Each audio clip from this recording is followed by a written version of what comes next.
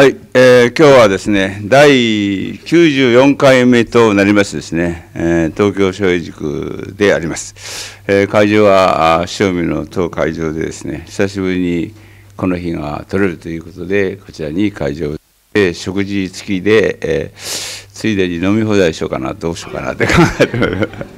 そういう開催にしたいと思います。相沢先生が今日あの来ていただける予定になってますが、岡山から直接来られて、若干遅れてるのか、もう来られるのかなと思いますが、始めさせていただきます。まあ、あの先日、映画を見てましたらですね、えー、独ソエストニア戦線というドイツとソ連とのですね、えー、戦いの映像を見てましてですね、まあ、あの時代ですね、まあ、大変な悲惨なことにドイツに、えー、エストニアが占領されてですねそして徴兵をされてですねドイツ軍側に入っていたと思ったら次にソ連が来てソ連が占領したらですねソ連側にまた徴兵されてですね同じ国民がですね2つの国に分かれて、まあ、戦争をするというようなですね、まあ、悲惨なことが最大のですね戦争における悲惨なことは内戦と言いますが内戦でなくてですね徴兵をそれぞれ占領した国にされてそういうこととなっているわけです。お気の毒なことだなと思って見てました。しかしその中におけるですねドイツもソ連もですねかなりのやはりその火力といいますかねやっぱりその近代兵器を用いて戦う模様がですね素晴らしかったわけです。それに控えてですね先日あの陸上自衛隊のですね東部方面軍の総監をされてですね、渡辺、えー、でしたかね、まあ、私どもが主催するワインの会に来られましてですね、いろいろ陸上自衛隊の実情について聞いてましてですね、石川県にはあのカナダ市にですね、カナダ駐屯地というのがあります。以前ですね、ビッグトークでカナダ駐屯地の基地司令と話したことがありましてですね、その時にですね、自衛隊では防弾チョッキはどうなのって聞いたら、防弾チョッキがないんだわ、まだ装備されてないんだわって話ありましてですね、で、先だって、その陸上自衛隊東部方面総監にですね、もうすべてですね、えー、防弾チョッキ揃っていますから、揃ってないんだよと。今時ですね、この世界の軍隊は、自国の兵がその持ちがね、まあ、一番大事にするのはまず国を守るためにも自分を守らなきゃいけないということを考えたらですね。やっぱりその防弾チョッキぐらいきちっと与えなきゃいけないしですね。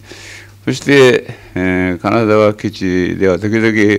年に1回ですねまああのなんか自衛隊のなんか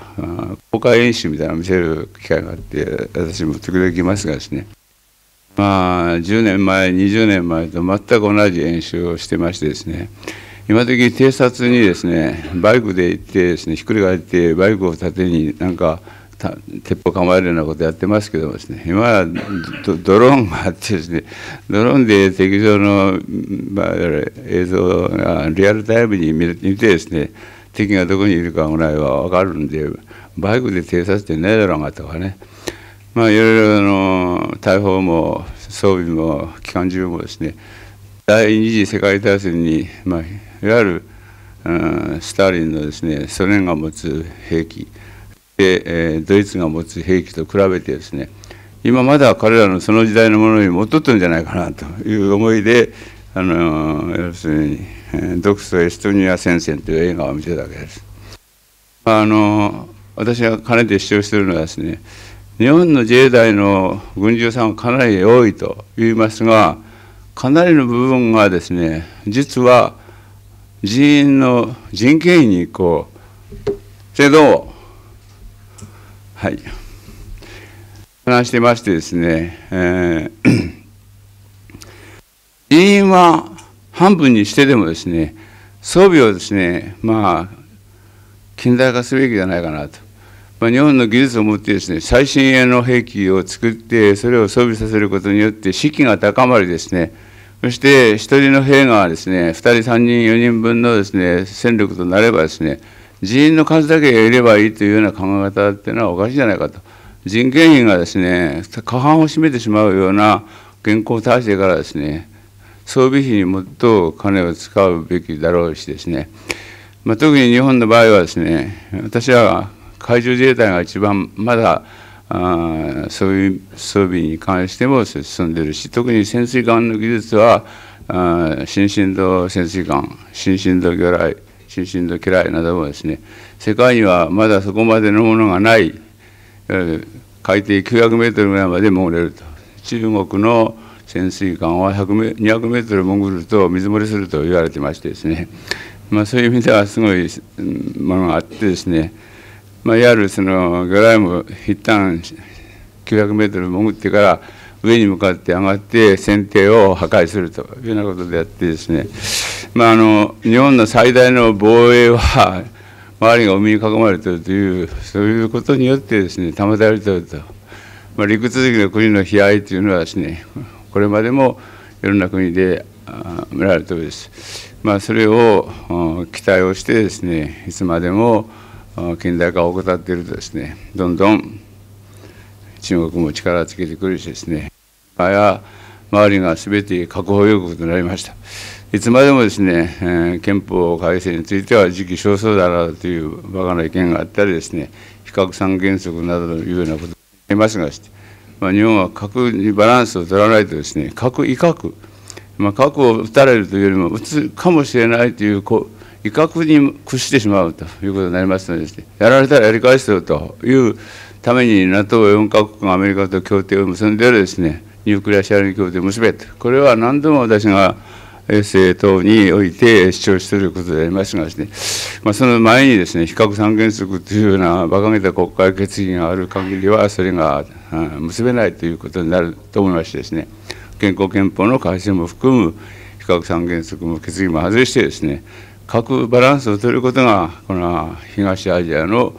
安定とですね、力のバランスを取ることになるであろうと、思います。まあ、そういう意味ではですね、私がバノンさんと対談をしてですね、バナナさんは、彼にですね、えー、